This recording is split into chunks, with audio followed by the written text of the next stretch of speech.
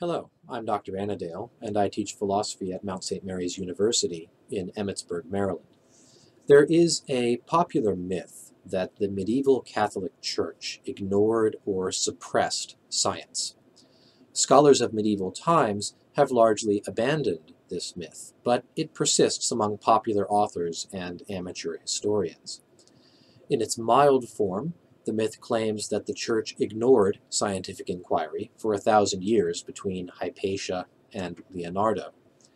Extreme forms of the myth claim that the church actively discouraged or punished scientific inquiry, preferring to focus on metaphysics, theology, and other worldly concerns.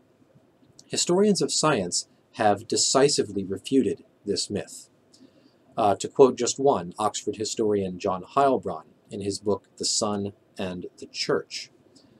The Roman Catholic Church gave more financial and social support to the study of astronomy for over six centuries, from the recovery of ancient learning during the late Middle Ages into the Enlightenment, than any other, and probably all other, institutions.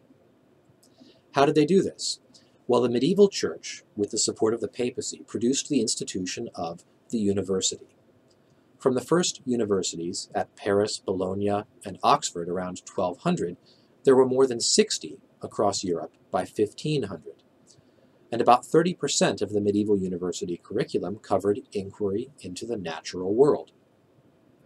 Over those three centuries, hundreds of thousands of students were exposed to science in the Greco-Arabic tradition. As the universities developed, they included more works by Latin authors, extending this tradition along original lines. Medieval universities, with the Church's active support, introduced huge numbers of students to Euclidean geometry, optics, basic astronomy, and arguments for the spherical shape of the Earth. These universities generated a literate elite, most of whom never studied theology or entered holy orders. They studied logic, natural science, and mathematics. Only a minority of universities had a theology faculty, and by far the most popular advanced course of study was law, which was useful in both civic and ecclesiastical courts. Some church authorities did forbid the teaching of Aristotle's natural philosophy, but these prohibitions were local and affected only a small number of students. They were often temporary, too. For example, teaching Aristotle's natural philosophy was forbidden at the University of Paris in 1210 under penalty of excommunication.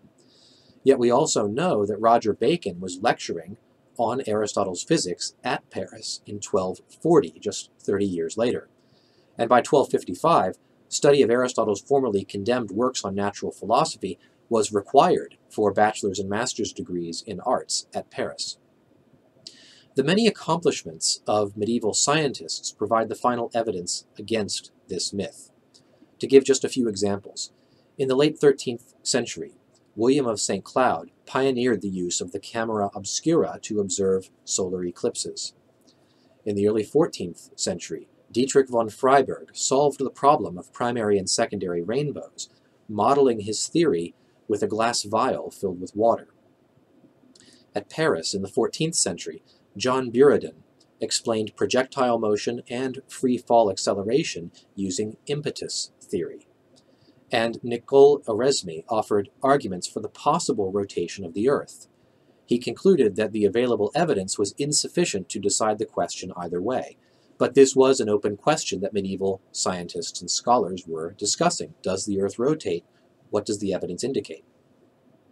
These men all came from a university culture that granted considerable freedom of thought via the disputation method, which required arguments for and against a position to be argued based upon reason alone. I'll conclude with a quotation from the historian of science Michael Shank. Between 1150 and 1500, more literate Europeans had had access to scientific materials than any of their predecessors in earlier cultures, thanks largely to the emergence, rapid growth, and naturalistic arts curricula of the medieval universities. So, the claim that the medieval church ignored or suppressed the study of science is a myth, refuted by the historical evidence.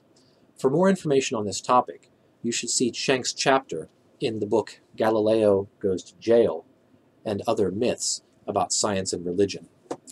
That's my commentary for today. Thanks for watching. Goodbye.